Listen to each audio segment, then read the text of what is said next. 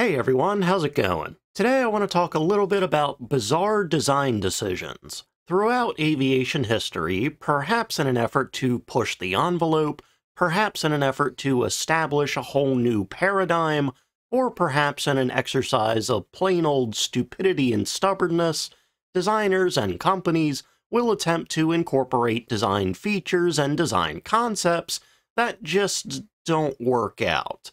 These attempts can be viewed as being ridiculous or insane in hindsight, or can be viewed as that in the moment, with military leadership and whatnot looking at these attempts with confusion and contempt. There are honestly countless examples of design features that are absolutely insane, so in the interest of not making a video that has infinite length, I'll pick out three of my favorite bizarre design decisions, specifically from aircraft that I've made videos on. One, the Hutter HU-136's cockpit canopy.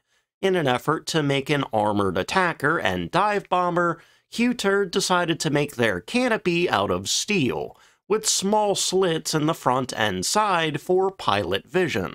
This would restrict vision an insane amount, forcing the pilot to basically fly literally blind. 2. The Republic XF-91 Thunderceptor's wings, in an effort to solve the pitch-up problem that a lot of early swept-wing jet aircraft faced, where the wingtips would stall out and throw the nose up violently, throwing the plane out of control, and as this often occurred at slower speeds and lower altitudes, like during takeoff and landing, this problem often proved to be deadly. So to try and counter that, Republic made a swept-wing aircraft with wings that didn't taper off to be smaller, but instead were inverse and got larger towards the tips. Surprisingly, this actually worked, but the design didn't advance past the prototype phase, as the American military elected to basically just wait a couple years for more advanced designs. And third, I'll go with the Sack AS-6, a circular wing aircraft. The story behind the AS-6 is quite bizarre as well, as it was actually designed by a farmer, and despite his small-scale model performing quite poorly, some German leadership saw it and thought it was interesting looking and brought it to life as a full-scale aircraft, where it also performed poorly. But yeah, a farmer made a crappy frisbee with an engine, that got further than it should have because somebody with power thought it looked pretty neat. But for our subject, or subjects, plural, for today, we actually have a trifecta of bizarre designs that I wanted to talk about for two reasons. One, they all looked kinda weird, which initially drew my interest. And two, two of the three designs had an incredibly bizarre feature that, to put it simply, spiked pilots into the ground like a football, the Rob Gronkowski of aircraft. This is a trio of ground attackers from Boulton Paul. This is the Boulton Paul P-99, P-100, and P-101. Their collective stories began in early 1942, with a new British specification that a few websites list as Specification F642. However, this is probably not accurate, as the F denotes a fighter project, and the aircraft of the specification we're talking about were to be ground attackers or bombers or something, which probably would have called for a B, a P, or maybe even an A letter designation. And honestly, more than likely, the specification did not last long enough to really receive an official classification number. Regardless, though, this unnamed designation sought a maneuverable low-level ground attacker, intended to replace a variant of the Hawker Hurricane in the Mark II-D, this Hurricane variant was used in a ground attack and specifically a tank buster role. Aircraft had incredible potential in the tank buster role, as tanks typically concentrated their armor on the front, sides, and rear faces, specifically the faces that were perpendicular or somewhat perpendicular to the ground. as these faces would be taking the brunt of the impact from enemy tank fire. And while the tank surfaces on top of the hull and top of the turret were armored, the armor there was much thinner, as they would receive less impact and focused fire. This is where aircraft could come in, attacking from above and targeting that thinner armor. But even though that armor was thinner, aircraft guns at the time, typically 7.62 mil or 12.7 mil, just weren't strong enough to pierce that. So this is where something like the Hurricane Mark II-D comes in. Instead of normal machine guns, it instead had 40 mil cannons held in underwing pods, with a singular machine gun in each wing that would be outfit with tracer rounds to help aim the 40 mil cannons. These actually proved to be quite effective, so much so that the squadron outfit with the 2D was named the Flying Can Openers. But even still, the Hurricane wasn't a super high-performing plane and could certainly be improved upon, which led to the early 1942 specification for a new ground attacker. For this role, the British Air Ministry of course, wanted something with a lot of offensive power, and really high speed wasn't terribly important. A top speed of at least 280 miles an hour was sought, which is actually pretty low for a mid-war spec. But offensively, the prospective ground attacker would be absolutely insane for the era and possibly unmatched in World War II, with it having an armament at least equal to the Hurricane 2D and its two 40mm cannons. The prospective aircraft would have either three 40mm cannons, two 40mm and two 20mm cannons, one 47mm and two 20mm cannons, two 20mm cannons and a number of rockets, and at absolute minimum, four 20mm cannons which honestly, that last one probably wouldn't have been actually accepted, and I do kinda question whether or not the Air Ministry would have even listed that as an acceptable armament setup. Additionally, the design would also need excellent maneuverability at low altitude and excellent vision from the cockpit, so the pilot could spot his various ground targets. I would also assume that the plane would need solid armor given how close it would be to enemy ground fire. To this specification, several companies would submit designs, some of whom would submit several designs, and one of the designs I actually made a video about a long time ago, a design that was in the running for strangest aircraft design features, in the Martin Baker Tank Buster.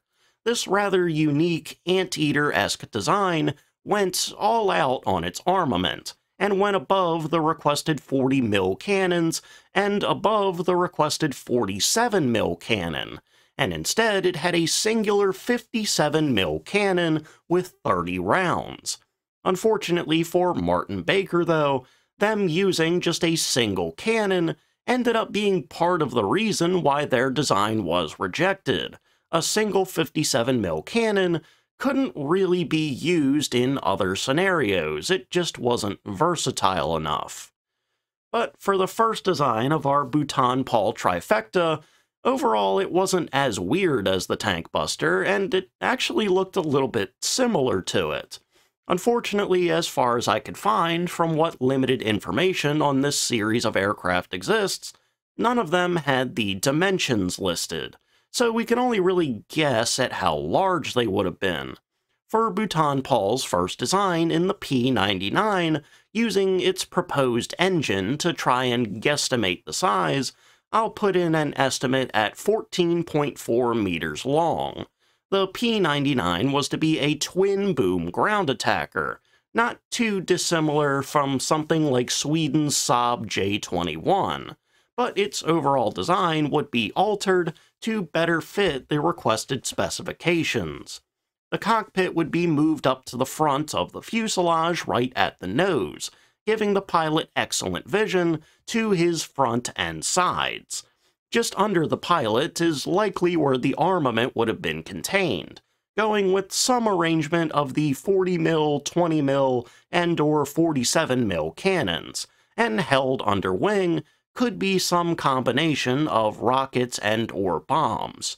At the rear of the fuselage, in between the twin booms of the twin boom tail, would be the engine and a set of contra-rotating propellers, and the engine in question would be a Rolls-Royce Griffon, an effective successor to the legendary Rolls-Royce Merlin that had around 2,000 horsepower.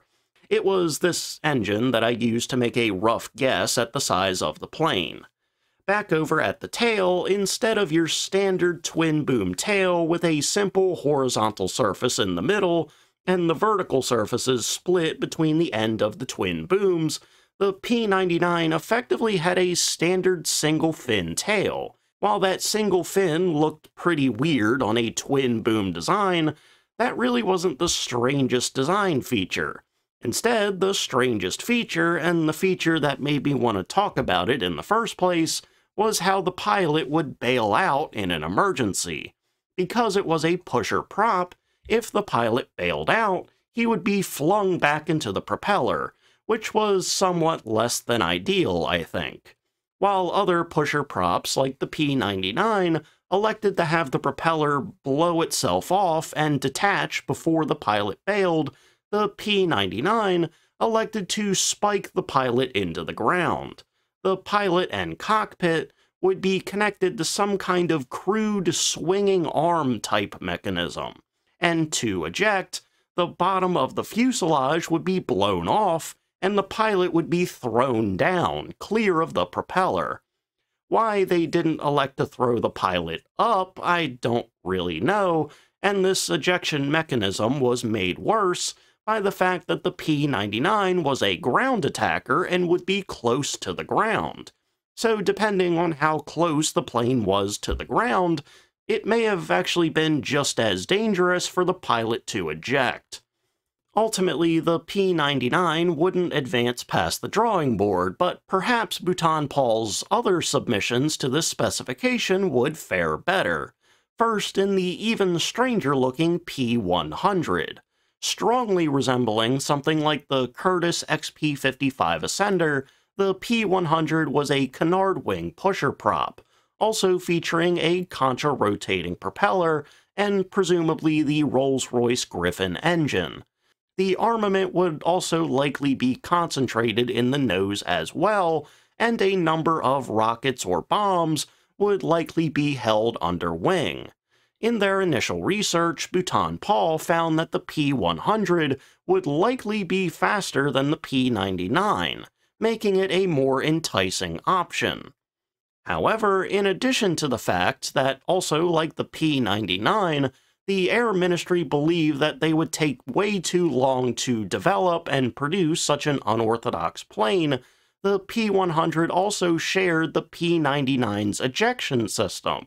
This method just made absolutely no sense for a low-flying ground attacker, and if either the P-99 or P-100 had made it further than the drawing board, this ejection method almost certainly would have been altered to either fling the pilot upward or just blow the propeller off the frame. But for Boulton Paul's third and final submission to the specification in the P101, it appears as though they took the note that their first two designs would take too long to produce to heart, and they went wildly away from the first two designs and kind of went back in time. Just looking at the fuselage from the side, it appears as though Boulton Paul went back to the mid to late 1930s, and the fuselage looked a bit more bulbous and stubby. Instead of having the cockpit in the nose like the first two, they elected to have a more typical and standard cockpit that wouldn't really have better vision than your typical fighter of the era. But the most eye-catching and perhaps baffling design decision, or decisions plural, came over in the wings and the landing gear, as they elected to make the P-101 a biplane with fixed, chunky landing gear. Now, why exactly they decided to make it a biplane, I don't know, and I couldn't find anything explaining why they did this. I mean, biplanes were pretty agile, and the extra wings would probably shorten the takeoff run, so maybe that's why they did it. Honestly, though, I feel more like they made this design out of anger and frustration, with the first two designs rejected, in part because they would take too long to develop. It's as if Boulton Paul was throwing their hands up and saying, Fine, you want something easy to develop? You want something with a proven design. You want something that can be ordered off the drawing board. Well, here you go. I mean, there certainly wouldn't have been any mystery on how a biplane would perform, and having the landing gear be fixed would make the P-101 much easier to produce. Making it even easier to produce was the fact that the wings of the P-101 would be taken directly from the Boulton Paul Defiant, so almost certainly the P101 could have been ordered off the drawing board, could have been rapidly produced, and probably would have had rather predictable performance. And armed with an assortment of 20 mil and 40 mil cannons, it would be pretty powerful as well. At the same time, though, vision from the cockpit was comparatively poor, and the extra wings would degrade higher speed performance and unsurprisingly, the P101 would be rejected, or basically just ignored. So ultimately, none of the Boulton Paul designs made it past the drawing board, and none of the other several proposed designs did so either. Instead, the Air Ministry decided that it was basically now pointless to pursue a new dedicated ground attacker, and instead currently existing aircraft, fighters and fighter bombers, would be modified or utilized in the tank buster role, from fitting common British fighters with cannons again to utilizing newer fighter bombers like the Hawker Typhoon and Tempest, outfit with unguided rockets and bombs. Essentially, the Air Ministry favored more versatile, multi-role aircraft over a more dedicated single-role aircraft. Overall, while all three of the designs are quite interesting and quirky in one way or another, I feel like maybe the more interesting part is that they tell a story of frustration, from making two designs that, while unconventional, and while they spiked pilots into the ground like a football, they may have had some potential, and they seemed to get mad that they got rejected and submitted the third design out of spite. And while doing so may have proven some kind of point, I guess, doing that doesn't get you production contracts. Spite designs don't lead to contracts. Alright, and with that, we're going to go ahead and end for today. So thank you all for watching. Remember to like, comment, and subscribe.